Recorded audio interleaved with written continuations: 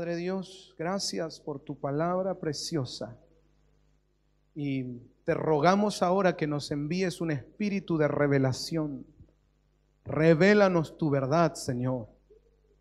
Ábrenos los ojos y que fluya aquí una palabra apostólica, profética, evangelística, pastoral y magistral. Y que tu palabra produzca los frutos en nosotros, Señor, por lo cual es enviada.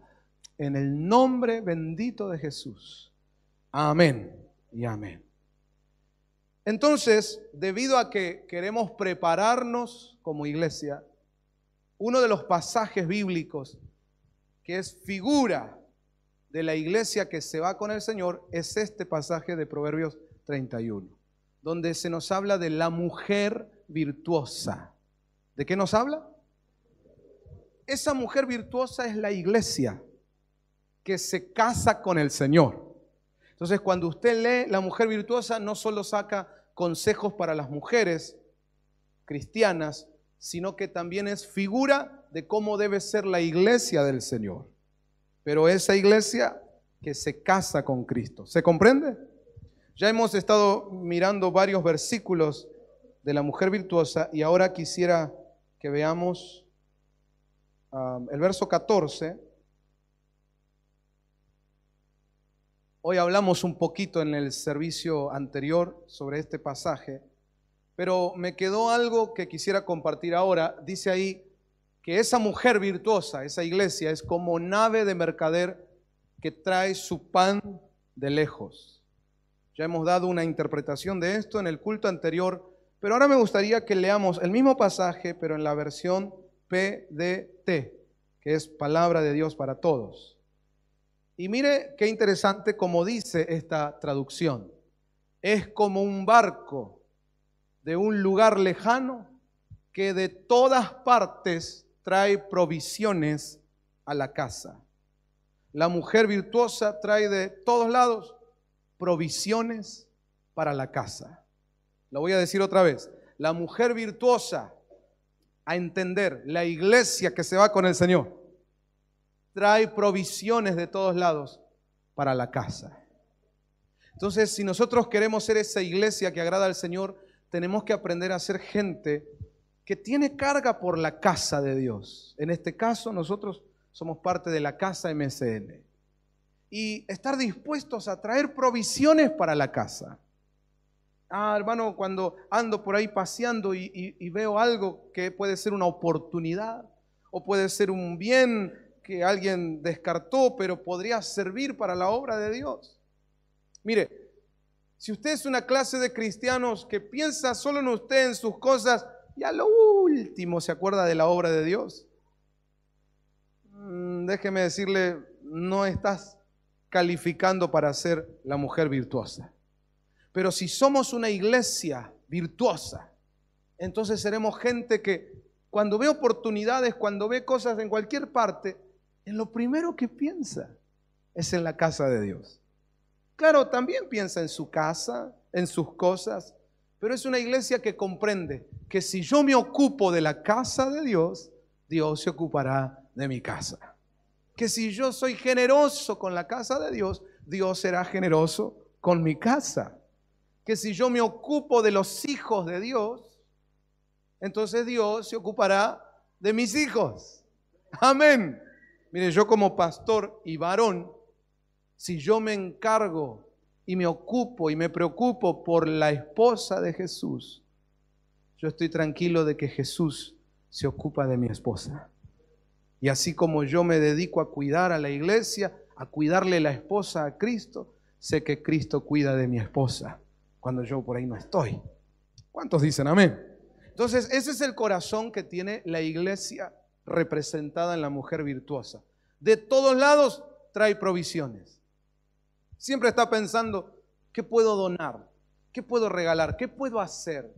¿Qué podemos aportar? Pero que en la casa de Dios no falten recursos, que haya provisiones.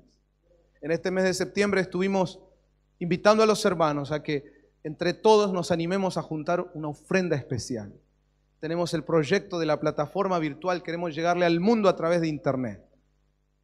Y entonces hay gente que por ahí escucha esa convocatoria para dar y bueno, la escuchó, sabe, pero no se preocupa, no se esfuerza.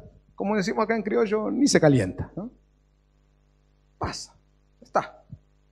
Pero hay otros que dicen, yo quiero dar, ese proyecto viene de Dios, es una visión del Señor, yo quiero ser parte, y, se ocupa y se preocupa para traer provisiones.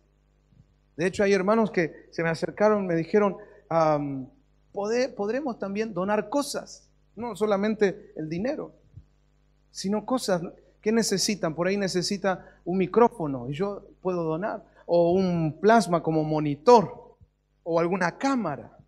O hay hermanos que me dijeron, yo podría poner mi tarjeta. Si necesitan algo para la radio, para el estudio, poder sacarlo y yo me encargo después de pagarlo en cuotas, pero ha ido. Mire, ese corazón de gente dispuesta, ¿no? A traer provisiones para la casa, es lo que nos muestra la Biblia. ¿Qué hace la mujer virtuosa?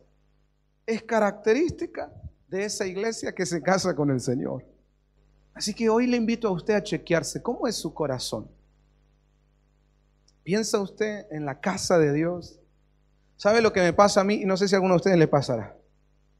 Por cualquier lugar que yo ande, no importa dónde, a veces paso por un lugar y veo un local lindo y digo, qué lindo para una iglesia. Todo el tiempo me pasa eso. Cuando entramos a lugares donde hay bazar o cosas de adorno así, con mi esposa nos ocurre igual. Lo primero que miramos es, qué lindo quedaría esto en la iglesia qué lindo esto allá en la obra de, tal lugar. ¿no? Siempre, porque es como que Dios ya puso ese corazón. ¿Cuántos quieren tener ese corazón? Usted hoy pídale al Señor, Señor, yo quiero ser esa mujer virtuosa, yo quiero irme contigo cuando vengas a buscar a tu iglesia. Entonces una de las cosas es esto. Dice, es como un barco que de todas partes trae provisiones a la casa. Qué lindo, hermano, que usted hoy sea un barco que viene con recursos para bendecir. habla de barco, ¿no? De algo grande. Decirle al que tenés al lado, vos sos una gran bendición, hermano. Un barco. Vio que nosotros a veces para elogiar a alguien le decimos maestro, campeón. Bueno, ahora bíblicamente dígale, barco. Barco de bendiciones. Un buque de beneficios. Qué lindo. ¿Cuántos dicen amén? Qué lindo. Mire si cada uno de nosotros fuera así. Un barco de bendiciones para la casa. Pone a disposición recursos, pone a disposición tiempo, talentos, dones que tiene. Pero hermano, los barcos a veces no llegan. No, no hace, ¿cómo, cómo se dice cuando no atracan? Pasan de largo nomás. Hay que encallarlos, ¿no? Codiar al que tenía al lado de decirle, este es un lindo puerto, hermano, para venir un puerto seguro. Amén. Venga con sus barcos, traiga las bendiciones, siembren las cosas del Señor. Eso hace la iglesia de Cristo. ¿Cuántos dicen amén? Amén. Sigamos al siguiente pasaje, el verso 15. Vamos a leer la versión, la Biblia de las Américas. ¿Qué más nos muestra la Biblia de la mujer virtuosa? Dice, también se levanta cuando aún es de noche, es decir, al amanecer, bien temprano se levanta, tan temprano que todavía no salió el sol. Antes que salga el sol, ya ella está levantada. Si esto tuviéramos que enseñarlo literal a las hermanas, está complicado, ¿no? ¿A cuántas hermanas les gusta dormir? Tremendo. En general, la mayoría de las mujeres es una de las cosas que más les gusta en la vida, dormir. Algunas mujeres, si sumaran las horas que duermen por día, van a hacer las cuentas y la mitad de la vida se la pasaron durmiendo. vivieron 50 años, 25 durmieron. Pero bueno, lo disfruta, está bien, está bien. Pero se ve que, sí, se ve que esta mujer se acostaba temprano para levantarse temprano. Capaz que esta mujer también dormía bastante, pero se acostaba tempranito. Cosa de antes que salga el sol. Ya estaba ahí lista para empezar un día de bendición. Bueno, eso es lo que cuenta la palabra. Dice, se levanta cuando aún es de noche y da alimento a los de su casa y tarea a sus doncellas. Sin ir por el lado de lo literal,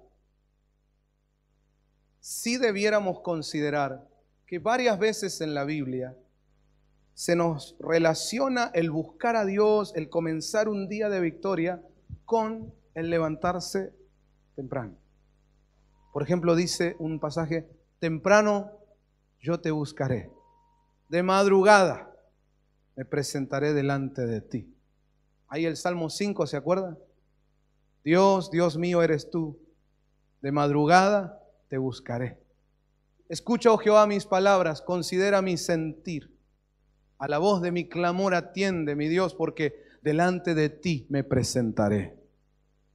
Y así muchas veces vas a encontrar en la Biblia que eh, una de las prioridades, por eso habla de lo primero en el día, por eso habla de temprano, de madrugada, una de las prioridades de todos nosotros debe ser buscar al Señor.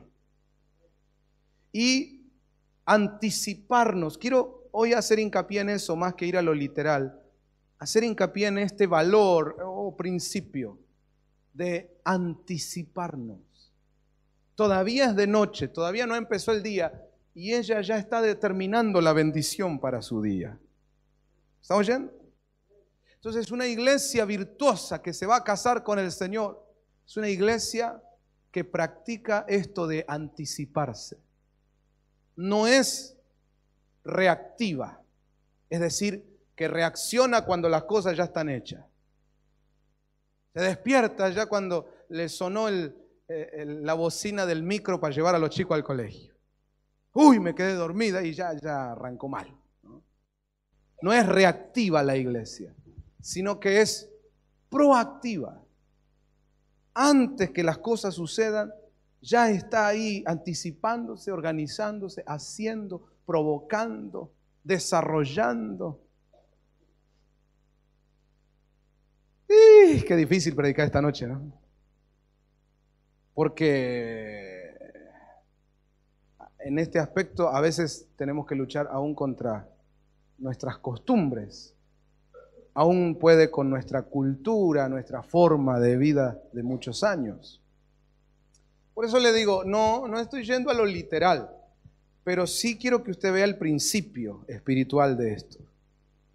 La importancia de ser proactivos, de anticiparnos. Todavía no salió el sol y yo ya estoy, determinando la bendición de este día.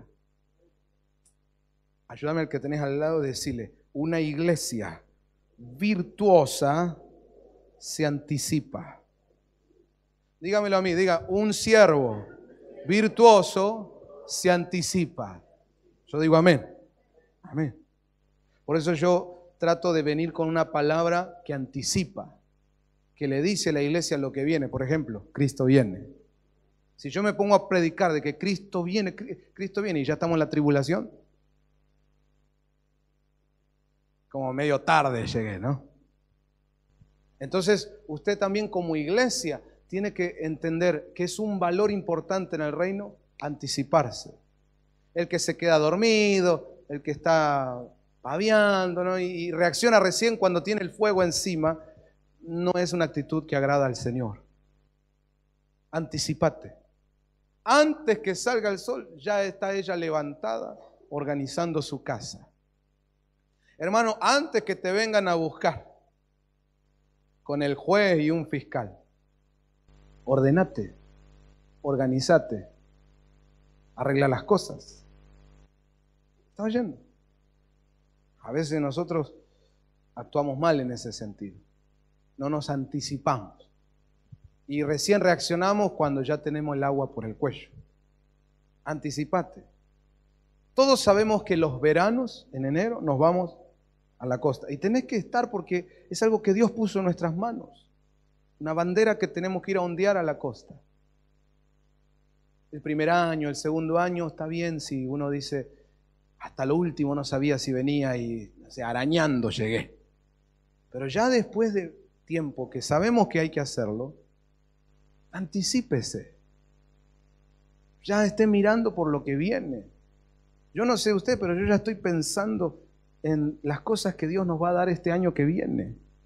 Nos quedan solo octubre, noviembre y diciembre. Entramos, hermano, a la etapa, una de las más bravas del año. Usted lo sabe, ¿verdad? Sacudimientos espirituales que influyen a mucha gente. Llega octubre, noviembre, diciembre y algunos hermanos empiezan a actuar como si el diablo los hubiera tomado. ¿no? Empiezan a, a estar distraídos en las cosas de Dios, fríos. Y, aparte de eso, el movimiento espiritual que hay en el mundo, con todo lo que generan las fiestas satánicas y paganas, muchas veces se lo llevan puesto. Y llega esta época del año y algunos empiezan a aflojar en la fe. Hermano, es horrible estar pensando cuando llega este, esta época, mirar alrededor y decir, bueno, a ver qué hermano se va a ir este año. no puede ser así. Tenemos que empezar a pensar, bueno, ¿cuántas almas van a venir ahora en el nombre del Señor? Pero usted ya sabe de qué se trata los momentos del año. Usted ya sabe cómo, cómo es cerrar un año y empezar otro. Entonces, anticípese. ¿Está oyendo? No espere a que llegue diciembre para ver, ¿y qué hacemos ahora con la fiesta pagana esta del arbolito? ¿Y, y, habrá culto? ¿Vamos a orar? ¿Qué vamos a hacer? Usted ya sabe lo que vamos a hacer, ya sabe lo que Dios quiere, anticípese. ¿Está oyendo? Anticípele a sus parientes. Vaya preparándolos para que respeten su fe y su posición en Cristo. Anticípese. Amén. En el trabajo, lo mismo. Usted tiene que ver cómo viene la cosa. Anticípese. Sea mejor antes de tiempo. Que cuando llega el problema, viene el encargado y dice, uy, pasó tal cosa y no sé qué vamos a hacer. Y usted viene y dice, yo ya había previsto y preparé esto, esto, esto, tome, acá está. Ah, qué bueno eso. Eso los ojos de los jefes lo admiran y lo valoran mucho. Vamos, diga conmigo, una iglesia virtuosa se anticipa. Amén. Cultive su matrimonio, mejórelo. No esperes a que tu mujer tiene el bolso hecho. Y ahí recién, ¿dónde hay flores? ¿Dónde hay flores? Anticipate, hermano. Es horrible, ¿viste? Cuando te traen flores, yo decía, ahora me trae flores. Anticipate antes que llegue el mal tiempo, como José, guarda tu, en tus graneros. Mire, déjeme decir algo que puede ser malinterpretado, alguno lo puede tomar mal, bueno, qué sé yo. Eh, ¿Cómo se diría en griego? ¿Qué me importa? Se diría en griego, ¿no? No me importa. Pero uno mira las cosas que pasan. Lo que ha sucedido en México, por ejemplo, fue terrible. Ahí en un WhatsApp que tengo de pastores, me llegó un audio de un pastor contando que fueron días bravísimos los que vivieron. Y dentro del sufrimiento que tuvieron está el hecho de que por varios días no tuvieron luz, ni ningún servicio, ni agua, y no había dónde comprar víveres, y que eso fue bastante bravo. ¿No estaría bueno anticiparse? pensar, no quiero que nos toque, no estoy anhelando que pase aquí, pero si pasara aquí en este país también algo que, tendría que requerir que la luz sea cortada, los servicios no anden, eh, no haya agua, no haya dónde ir a comprar por unos días, supongamos cinco días, una semana. ¿No sería bueno que usted tenga una reserva en su casa de cosas por si hay una emergencia? Ya le digo, alguno lo puede malinterpretar, decir, hay un pastor que está preparando a la gente para el apocalipsis. No, no. No, no, no, sin irnos al extremo, no. Hablo un poco de criterio. Hablo de aprender aún de, dolores o experiencias negativas ajenas. Yo pensaba cuando escuchaba a este pastor, ¿será que este pastor tenía en su casa guardado, aunque sea harina, arroz, eh, agua? Entonces te llega una situación donde por cinco días, por una semana no puedo ir a comprar, ¿tenés una reservita ahí? ¿No estaría bueno eso, hermano? Bueno, piénselo usted. Uno puede decir, ah, pero si yo hago eso es como que estoy esperando una catástrofe. No, no la estamos esperando. Pero en México tampoco la esperaban. Y puede suceder. Entonces hablo del concepto del valor de anticiparse. Diga conmigo, la mujer virtuosa se anticipa. Mire, todavía no salió el sol, todavía es de noche y ella ya está determinando la bendición de su día. Amén. Hay codero al que tenés al lado, decirle, aprende a estar dos pasos adelante, hermano. Mientras otros duermen, yo estoy ganando almas. Mientras otros duermen, yo ya estuve en la presencia del Padre. Mientras otros duermen, yo ya me bajé una revelación de parte de Dios por su gracia y su misericordia. Mientras otros duermen, yo ya planifiqué lo que va a pasar al cerrar este año y lo que va a venir al comenzar el próximo. Mientras otros duermen, yo ya estoy trabajando. Eso es la mujer virtuosa. Hay iglesias que quieren bendición, que quieren gloria, pero se la pasan durmiendo. Hermanita, mujer virtuosa, despertate. Ay, es que me encanta dormir, va, ve ahí la. Bueno. el que tenía al lado, decirle, despertate iglesia, despertate. Se levanta cuando aún es de noche. ¿Y qué hace? Da alimento a los de su casa. Quiere decir que el anticiparse, el estar temprano, ya de pie, el estar dos pasos adelante, garantiza el alimento de la casa. Garantiza que, que va a haber, que no va a faltar, porque hay una persona diligente, hay una iglesia diligente, ¿me oye? Hay una iglesia que prevé, que va siempre pasos adelante, que no es reactiva, sino que es proactiva. Yo quiero recibir esa bendición. ¿Cuántos quieren una iglesia así? Amén. Y dice, y tarea a sus doncellas. Déjeme mostrárselo en la versión TLA, que es traducción lenguaje actual. Mire cómo dice el mismo pasaje. Se levanta muy temprano, da de comer a sus hijos y asigna tareas a sus sirvientas. Pregunto, en la casa de Dios, ¿hay hijos? Amén. Pregunto, en la casa de Dios, ¿hay servidores? Amén. Mire lo que dice ese pasaje. A los hijos, comida. A los sirvientes, tareas. Todos nosotros somos hijos y también somos siervos. Entonces, ¿qué tiene que haber en la iglesia? Comida, pero también tiene que haber tareas asignadas. Te pregunto, ¿estás comiendo bien? Déjame decirte que si no te congregas como hay que congregarse, estás comiendo poquito. Usted podría comer o subsistir comiendo una vez por semana o una vez cada 15 días.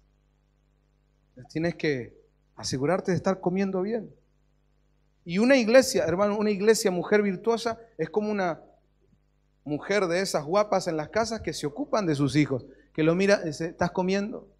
Comete esta verdura, comete esta fruta. No me gusta la fruta, come, que hace bien. Pero la manzana no me gusta la cáscara y ella se ocupa de rayarle, cuando es chico, ¿verdad? Si ya es grandote peludo ya. No, pero, pero una madre, mire hermano, una madre, aunque su hijo tenga treinta y pico, siempre está ahí. ¿Comiste? ¿Estás bien? Está preocupada por el alimento porque entiende que el alimento es, es vital. En la iglesia nos ocupamos de eso. Usted mira que los hermanos estén todos bien comidos. ¿No será que hay hermanos que a veces no llegan, no se congregan? Y usted no le preocupa.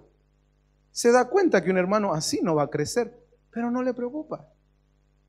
Ahí tiene que cambiar la iglesia. Ah, no, eso que lo haga el pastor. Pero, ¿dónde dice en la Biblia que solo el pastor tiene que hacer eso? Por otro lado, aplicando criterio, ¿no? Sentido común. ¿Puede una sola persona encargarse de todos? No, para eso está la iglesia. Vos tenés a tu hermano ahí a la mano, hay gente que vos conoces y sabes que no se están congregando. O por ahí los ves que se congregan, pero en la hora de la palabra no están recibiendo. Qué curioso que cuando llega el momento de la palabra, cistitis le agarra. Entra y sale, entra y sale. Hermano, en la hora de la palabra usted debería no moverse, estar ahí recibiendo Si te está costando recibir, tienes que pedir ayuda. Y si la iglesia es mujer virtuosa, tiene que mirar a los hermanos que no están recibiendo y decir, che, este no está comiendo. Toda mamá sabe que cuando un chico no está comiendo, mmm, algo anda mal. Entonces la mujer virtuosa se ocupa de eso, que le llegue la palabra a la gente. En Belville tenemos gente que abrió su casa y que está dispuesta ahí a que se empiece una obra. Bueno, todavía no tenemos a alguien para dejar allá, todavía nos faltan algunas cosas para establecer. Bueno, por lo menos que le llegue la comida, que le llegue la palabra. Por eso es la visión esta que yo les digo de la plataforma virtual por internet, hermano. Porque hay mucha gente por ahí no puede llegar hasta acá por la distancia, pero tiene que comer. Y si nosotros somos una iglesia virtuosa, vamos a ofrendar, vamos a sembrar para que esa plataforma virtual funcione y que la comida llegue calentita, rica todos los días a los hogares de los que necesitan de Dios. Dice amén.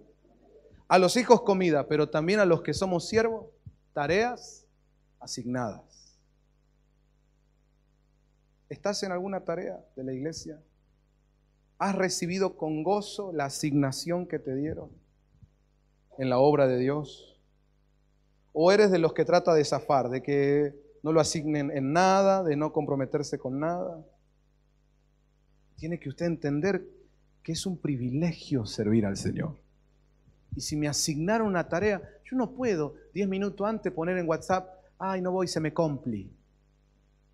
¿por qué no haces que se le complique a lo otro? No, se me complicó por, porque tenía que ir a buscar no sé qué cosa. Bueno, que se le complique a eso que tenías que ir a buscar, pero a la iglesia no le falles. ¿Siempre pierde la iglesia? ¿Por qué siempre pierde la iglesia? Preguntémonos eso. Mire, usted no llega tarde a su trabajo porque si no pierde presentismo. Usted no llega tarde al colegio porque si no le ponen media falta pierde una asistencia. ¿Me sigue? Usted no llega tarde al consultorio del médico porque pierde el turno. Pero ¿por qué llegamos tarde a la iglesia y pensamos que no perdemos nada? ¿Se da cuenta? Que hay cosas que nos han asignado. Por ejemplo, el hacerle culto al Señor. Y es una tarea que debemos hacer hermano, con gozo, con disposición. En, las cosas básicas y mínimas como llegar puntual, como estar ahí, es más, estar antes y ver si se necesita algo. Los que quieren servir a Dios y, y tal vez sienten en su corazón anhelos de obispado, anhelos de estar en el altar, deberías llegar antes. Ganate el lugar. Yo me crié como hijo de pastor, pero Busqué mi lugar. Yo era chico y ya había gente sirviendo y yo quería estar ahí. Me acuerdo lo primero que empecé a tocar fue la batería. Y ya había bateristas en la iglesia. Pero yo siempre llegaba temprano y ya me sentaba ahí al lado de la batería. Y la miraba, tocaba el platillo así con el dedo. La miraba con cariño y estaba esperando en cuanto se cae el otro ahí. No estaba esperando que se caiga o que le pase nada, pero yo estaba preparado. Y por ahí un día no llegaba, o un día le pasó algo, ahí estaba yo. Ya así, así mirando, contento. Y los otros mirando, che, no llega el baterista, ¿qué hacemos? Y yo, ahí, preparado, porque quiero servir al Señor. Seguramente que no lo hacía muy bien al principio, pero fui aprendiendo después en otras cuestiones y, y, y así con el Señor aún para servirle, como ¿Se acuerda que el Señor un día dijo, ay, ¿a quién enviaremos? ¿Quién irá por nosotros? Y el profeta Isaías estaba, Deme aquí, Señor, acá, acá estoy yo. Ya estaba calentando, ¿verdad? Yo quiero servirte, Señor. ¿Cuántos dicen amén? Ayúdame al que tenés al lado de decirle, no le huyas a las tareas, hermano. A veces uno no va a ser gerente general de una empresa de una. A veces uno empieza limpiando pisos. No le huyas a la tarea asignada. Pero el tema es que ya estás adentro. Siempre me acuerdo de lo que contaba Palito Ortega. Él entró a Canal 13 como artista, como cantante. No, vendiendo café, pero ya estaba adentro. Entonces, hermano, entra en la obra del Señor, aunque sea haciendo café. Pero que la tarea que te asigne sea, sea un privilegio para ti, una bendición y decir, Señor, esto es lo que más anhelo, servirte. Como José, José había nacido para ser gobernador, pero empezó limpiando los pisos de Potifar. Pero hermano, cuando alguien nació para servir al rey, cuando alguien nació para estar ahí en el palacio, hasta la forma en que pone el trapo y el palo para limpiar es una forma diferente. Yo le invito, hermano, como siervo de Dios, dice ahí, ¿no? Como sirvientes del Señor.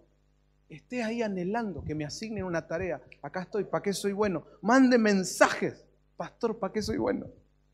A veces la gente anda buscando el celular o el mail donde pueda encontrar al pastor para pedirle cosas, pedirle oración, pedirle un consejo.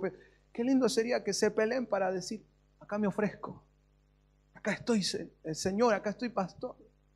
¿Para qué soy bueno? Mire, tal hora ya estoy libre.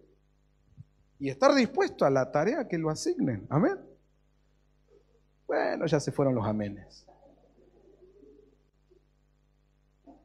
Pasaron las 10 y 10 de la noche y los amenes ya se volvieron a casa. Bueno, nosotros también nos vamos en un ratito. Pero solo déjeme mostrarle el siguiente versículo para ir terminando. Aunque espero que en su corazón reciba esta palabra. ¿Sabe por qué espero que reciba esto? Porque si usted no está dispuesto a servir, a mí no me perjudica porque siempre hay alguien dispuesto. Y la obra de Dios se hace igual. Pero el que lo perjudica es a usted si usted no se pone a disposición para servir, usted no va a ser la iglesia que se va con Cristo. ¿Entiende, hermano? Entonces es mi anhelo que usted lo reciba esto para bendición suya y de su casa, que usted llegue a ser esa mujer virtuosa. ¿Cuántos dicen amén? Mira el verso 16, otra vez la Biblia de las Américas. Mire qué lindo, interesante. Dice, la mujer virtuosa evalúa un campo y lo compra. Con sus ganancias planta una viña. Léalo conmigo otra vez. Evalúa un campo y lo compra. Ah, ella no sale a comprar cualquier cosa, no. Lo evalúa, se fija si conviene, no conviene, se fija el precio, se fija qué utilidad le puede dar. Evalúa un campo y ¿qué hace? Y lo compra. Con sus ganancias planta una viña. Bueno, esto nos habla de una mujer que sabe administrar. La iglesia debe saber administrar. Pero déjeme ir también por otros caminos en la interpretación de esto. Y recordarles que la Biblia también muchas veces cuando habla de campo, está dando una figura de otras cosas. Por ejemplo, en una ocasión Jesús habló del campo en una parábola y luego él explicó y dijo, el campo es el mundo. ¿Está oyendo? Entonces, teniendo en cuenta eso, dice acá, evalúa un campo y lo compra. Está hablando una manera de interpretarlo, ¿verdad? De evaluar terreno, de evaluar, hermano, en este tiempo que Cristo viene pronto, evaluar este campo que es el mundo, ver cuáles naciones, cuáles ciudades, qué territorios nosotros podíamos llegar con el Evangelio de Cristo en este campo que es el mundo. Y entender que para lograr esto va a haber que pagar un precio. Por eso dice, lo compra. Y sigue diciendo, con sus ganancias, planta una viña.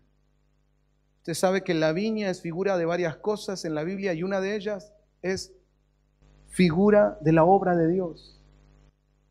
Una iglesia tipo mujer virtuosa es una iglesia que evalúa el mundo, examina el mundo y donde ve una oportunidad va y planta viña, planta la obra del Señor.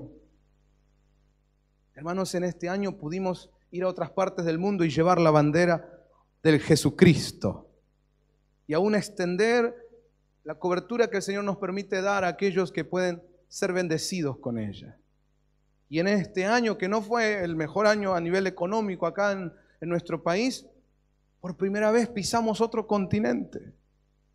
Y pudimos eh, compartir con hermanos de Uganda en África. Gloria a Dios por eso. Pero no nos podemos quedar con una experiencia. La iglesia virtuosa evalúa el campo, el mundo, y está dispuesto a pagar el precio para plantar una viña. ¿Será que de esta iglesia podemos ser esa mujer virtuosa? ¿Podrán salir pastores y ser plantados en algún lugar del mundo? ¿Estarás dispuesto, hermano, a dar de tu vida, de tu tiempo, a animarte, a lanzarte a la aventura de creerle a Dios y pagar el precio con tal de plantar una viña. Me llama la atención, dice, con sus ganancias planta una viña. ¿Qué hace la iglesia hoy cuando tiene una ganancia? ¿Planta una viña o se lo gasta para sí mismo? Ah, que el Señor nos ayude poder entrar a otro nivel espiritual y poder creerle a Dios para grandes cosas. Y, tener, hermano, la capacidad espiritual de discernir que la mejor inversión que puedes hacer en esta tierra es en la obra de Dios. No hay otro terreno más fértil que la obra del Señor. Pero también déjeme mostrarle este pasaje en la versión Reina Valera, 1960. Y mire cómo dice ah, la palabra. La mujer virtuosa, la iglesia que se va con el Señor, considera la heredad y la compra y planta viña del fruto de sus manos, del fruto de sus manos, de lo que produce con sus manos, va, invierte para que la obra de Dios se plante. Gloria a Dios. ¿Habrá alguien aquí que diga, pastor, yo estoy dispuesto una semana por mes, un, viernes por mes, a poner yo mi auto, mi dinero, pagar la nafta, me voy hasta Belville, Córdoba, y bueno, del fruto de sus manos paga el precio para plantar una viña. Interesante, ¿no? Pero en, este, en esta versión me llama la atención como dice al principio, considera, la mujer virtuosa considera la heredad. ¿Qué considera?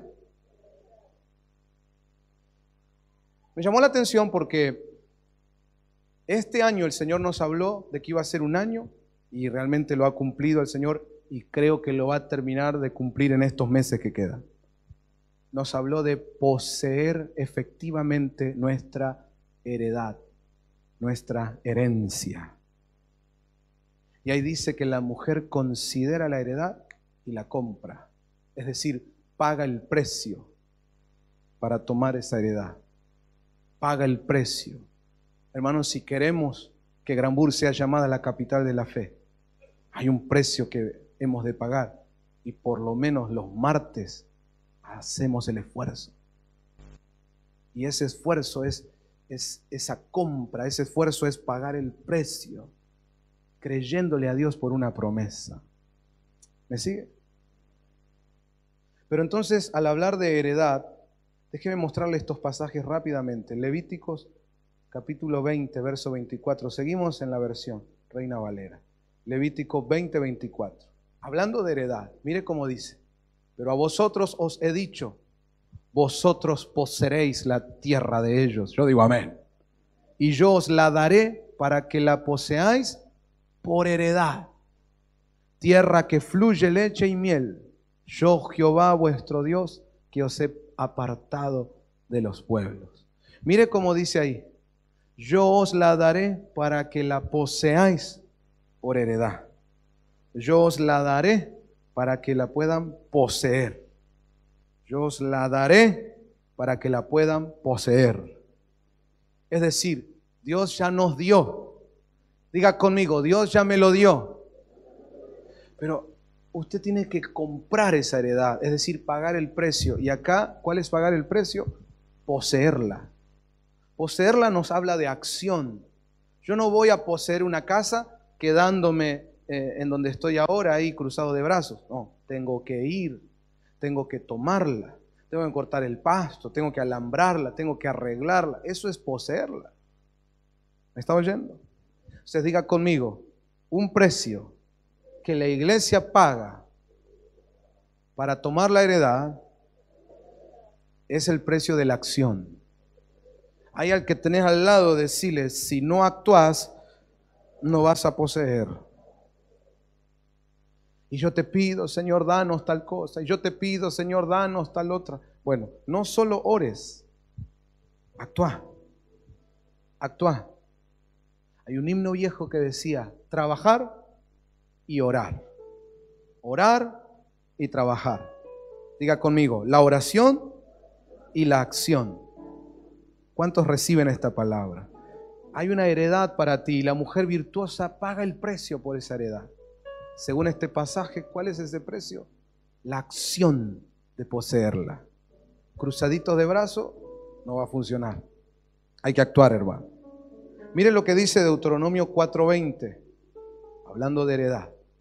Dice la palabra de Dios, pero a vosotros Jehová os tomó y os ha sacado del horno de hierro de Egipto para que seáis el pueblo de su heredad, como en este día. Yo digo amén. Recuerde, la mujer virtuosa compra la heredad, paga el precio por esa heredad. Este pasaje dice que nosotros llegamos a ser heredad de Dios. Pero ¿cuál fue el paso a dar? ¿Cuál es el precio a pagar? Que tenemos que salir de Egipto.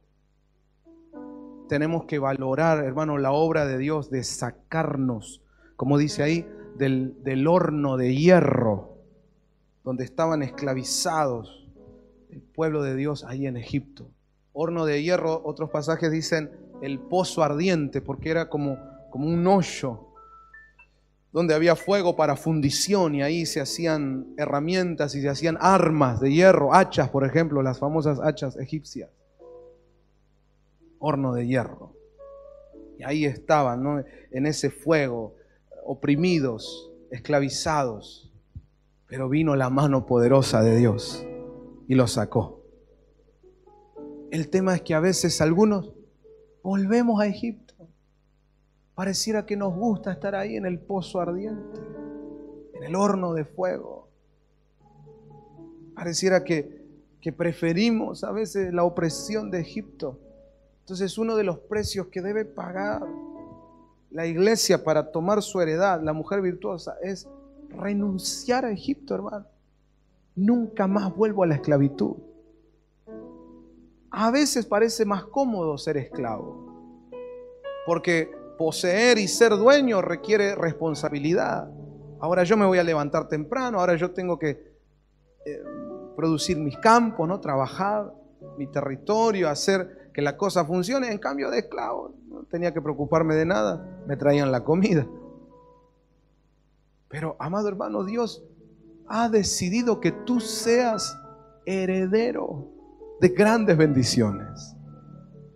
Te pido por favor, te ruego, no te quedes en la comodidad. La comodidad esclaviza.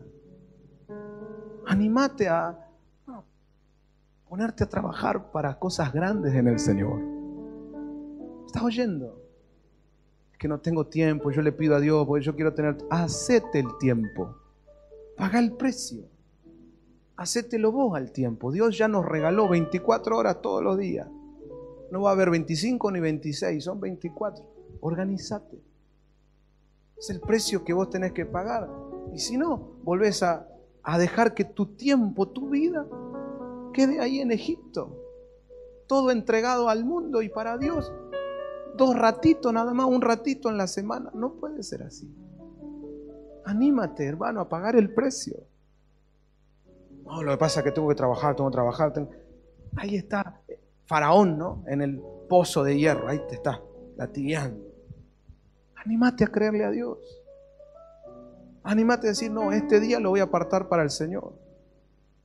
Y si el jefe te dice, no, pero mira, viniendo este día ganás más, yo sé que si se lo dedico a Dios, Dios me va a proveer, Dios me va a bendecir. Amén. Mira, Dios no te va a traer la heredad hasta el pozo de hierro. Dios no te va a traer la heredad hasta Egipto. Tienes que salir de Egipto. Tienes que romper esclavitudes de tu vida. Es el precio que pagamos. Mira este otro pasaje, Josué 1.6. Ah, cómo me gusta la palabra, hermano, porque la palabra nos abre el camino a la vida abundante. Josué 1.6 dice, esfuérzate y sé valiente porque tú repartirás a este pueblo por heredad la tierra de la cual juré a tus padres que la daría a ellos. Entonces dice, esfuérzate y sé valiente. ¿Usted quiere como iglesia tomar la heredad? La mujer virtuosa dice que pagó un precio por la heredad. Aquí se nos muestra cuál es ese precio a pagar. Esforzarse y ser valiente. Diga conmigo, sin esfuerzo no hay éxito. Usted espera que el éxito venga, le golpee la puerta de su casa y ni así, ¿no? Alguno ni aunque el éxito le golpee la puerta, está adentro y dice, pasa vos. ¿Sabía de ese santiagueño que estaba abajo de la higuera, así? Con la, con la boca abierta. Y el otro le dice, ¿qué estás haciendo? Viste que hablan así. Estoy esperando que caiga un higo justo arriba de mi boca. Y así horas, che. Y en un momento tuvo suerte el tipo. Pa, se desprende un higo y cae ahí, justo en la boca. Pero no lo come. Y el otro le dice, ¿y ahora qué estás haciendo? Esperando que caiga otro que lo empuje.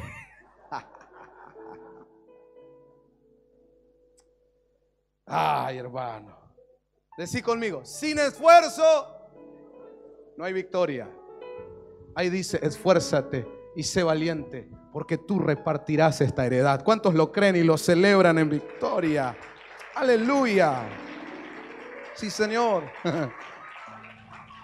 Mira, Salmo 16, 6. Salmos 16, 6. Estamos hablando que la mujer virtuosa, la iglesia que se va con el Señor, paga el precio por la heredad.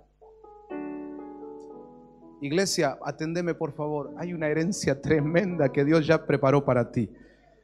Pero tenés que pagar el precio. Y mira cómo dice este pasaje. Las cuerdas me cayeron en lugares deleitosos. Y es hermosa la heredad que me ha tocado. Déjeme hablarle de esto que está diciendo este pasaje. Muchas veces escucho a la gente hablar mal de las cosas que Dios le dio. Y esta familia es una porquería, y esta casa es una basura, y esta iglesia no tiene amor, y esto de venir los martes a Granburg ya me tiene cansado. Y, y siempre chillando y quejándose de lo que Dios le ha dado. Pero aquí el salmista nos enseña que no debemos actuar así, sino que debemos declarar, las cuerdas me cayeron en lugares deleitosos. Las cuerdas se usaban para delimitar un terreno, ¿no? Entonces él decía, este terreno que me dieron, esto que Dios me dio, es deleitoso. Y es hermosa la heredad que me ha tocado. Iglesia, si querés poseer la heredad, lo primero que tenés que hacer es pisar esa heredad y decir, qué lindo, qué hermoso, qué maravilloso. Gracias Señor por esto. Cuando llega los martes a Granbur, levanta las manos. Gracias, Señor, por Granbur. Gracias por Delviso. Gracias por Villarrafo, Señor. Aunque a veces el diablo te quiere hacer enojar y decir cosas feas, esto no va, esto no funciona, esto lo peor. No, no, no, no. Hermosa la heredad que me ha tocado. Cuando yo comencé a hacer cultos acá, por este sector, nos juntábamos, éramos ocho personas contándome a mí, a mi esposa y a Larita. Le digo la verdad que a veces lloraba. No por la presencia de Dios, sino porque sentía que era un desastre esto. Pero un día aprendí a declarar, hermosa la heredad que me ha tocado. Hermosa la heredad que me ha tocado. Y hermano, uno empieza a llamar las cosas que no son como si fuesen. Ese es el precio que debe pagar la iglesia. ¿Cuántos están dispuestos a eso? Levanta tu mano y decí conmigo, gracias Señor, por la familia que me diste por este matrimonio, por los hijos, por el trabajo, por esta iglesia. Es hermosa la heredad que me ha tocado. ¿Cuántos lo bendicen con aplausos de alegría? Aleluya. Gloria a Dios.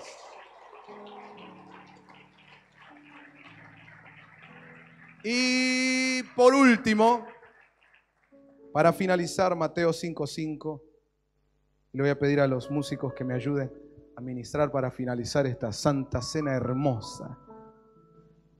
¿Disfrutó esta santa cena? Último versículo, léalo conmigo. Dice, bienaventurados los mansos, porque ellos recibirán la tierra por heredad. Recuerde que la mujer virtuosa paga un precio por la heredad. Y aquí se nos habla de los mansos recibirán esa heredad. Entonces un precio que debemos pagar como iglesia de Cristo es llegar a ser mansos. Amén. Decirle al que tenés al lado, Dios te quiere mansito, mansito, hermano. Mansito.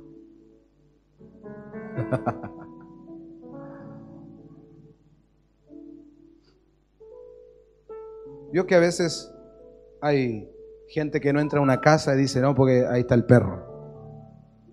Y el dueño dice, no pasa nada, es mansito.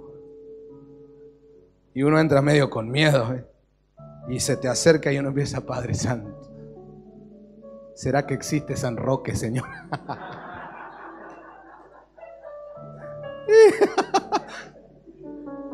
Ustedes se ríen, pero yo le tengo miedo a los perros.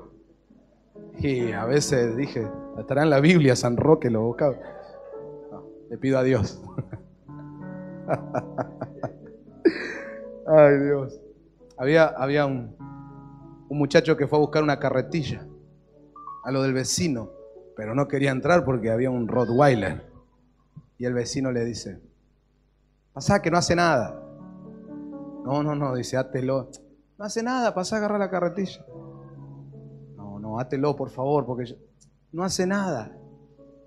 Bueno, el pibe para no quedar como cobarde entra, agarra la carretilla y el Rottweiler. Viste que son...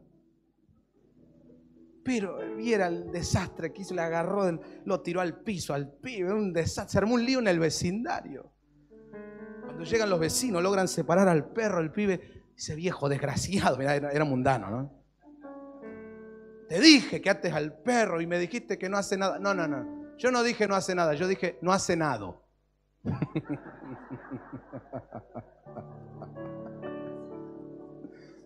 Ay, ay, ay. Eso para desligar responsabilidades, ¿viste? Bueno, así, así, hermano, este, como, como da miedo, como impide que se entre a una casa o que se tomen cosas porque hay peligros como un perro que es malo, ¿no? Así también, hermano, hay, impedimentos. Sígame, por favor, hay impedimentos. Hay bendiciones a las que no podemos entrar ni llegar cuando la iglesia todavía es... Por más que busquemos la unción y la gloria y oremos, si no cambiamos nuestro carácter, si no dejamos que el Señor obre para ser mansos y humildes como el Señor, entonces nos vamos a perder la heredad. ¿Está oyendo? La parte de la heredad son las almas, ¿sí o no? Y a veces hay almas que llegan a una iglesia y los Rottweiler de Acache se encargan de echarlos por su mala forma, sus malos modos. Ayúdame al que tenés al lado de decirle, Dios te quiere mansito, hermano, mansito. Luego venís al culto, te vas a sentar en una silla y te dice, salga de esa silla que ahí estoy yo. Y vos podrías reaccionar, decir, este Rottweiler, yo soy Pitbull. O decir, ya el Señor obró en mí. Estoy mansito. Y le digo, está bien, hermana, perdón, no sabía que, que era suyo el lugar, perdón. La amo en el Señor, hermano. La amo en el Señor y ella está... A veces en algunas iglesias hay que ser como el domador, el encantador de perros. Ay, Dios mío, no puede ser eso. Hermanos, tenemos que ser mansos. Así dijo Jesús, aprended de mí que soy manso y humilde. ¿Sabe que una de las acepciones de la palabra manso es ser equilibrado? Equilibrado. Manso no es ser el tontito que todo el mundo le pega y él no reacciona. No. Manso es ser equilibrado. tener la capacidad, hermano, de estar firme cuando alrededor se armó la hecatombe. Usted tranquilo, como agua de tanque. ¿Sabe quién era así? Moisés. Dice la Biblia, el hombre más manso de la tierra. Ah, yo necesito esa bendición. ¿Sabe lo que es pastorear casi 3 millones de cabezones? Si a veces, hermano, con 100 uno se vuelve loco. No, hablo por mí, ¿eh? hablo por Josué. Pero aquel che pastoreando a un pueblo rebelde, cabezón. Y a veces Dios venía enojado y dice, déjame que los destruyo. Y, y, armamos otro pueblo. Y Moisés dice, si querés, sacame a mí del libro de la vida. Pero ten piedad de tu pueblo. Wow. Manso. Necesitamos en la iglesia eso, hermano. En vez de estar peleándonos entre nosotros, ahí encaprichado, usted aprender a rendirse al Señor. Decir, Señor, si mi vida es tuya, yo ya te entregué todo, que, voy a andar peleando. Bueno, así termina esta Santa Cena de hoy. Con esta palabra. ¿Será que la recibe? Le invito a cerrar sus ojos para orar. Aleluya. Pedile al Señor, yo quiero ser esa mujer virtuosa, Señor. Yo quiero ser esa iglesia. Yo quiero ser, Señor. Aleluya, yo lo necesito, Señor.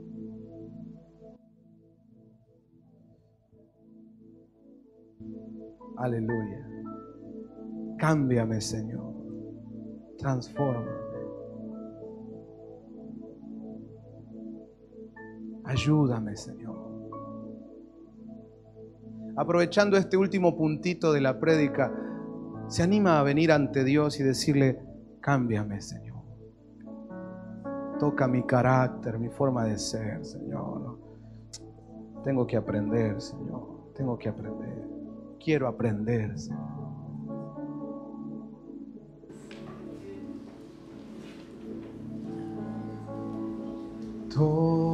Tómame y hazme de nuevo.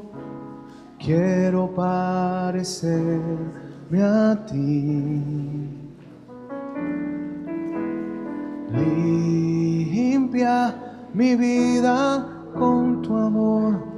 Dame un nuevo corazón.